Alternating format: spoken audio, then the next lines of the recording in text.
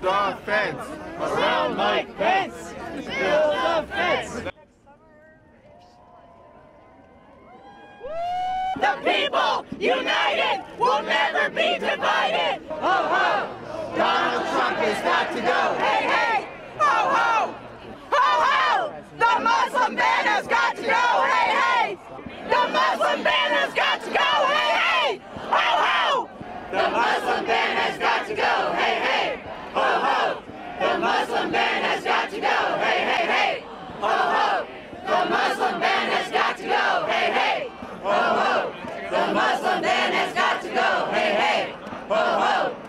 I'm a, uh, my husband is a uh, military in the in the navy, and I cannot go back to Iraq, and I cannot see my father and my family in Iraq, and I need help.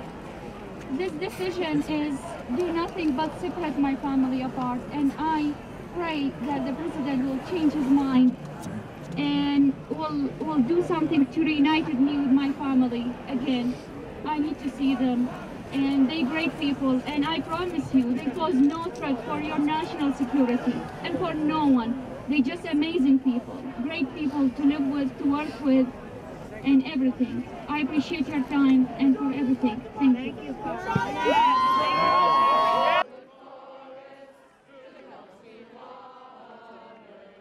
and showing out and saying, Mr. Trump, this is not a monarchy, this is a democracy. We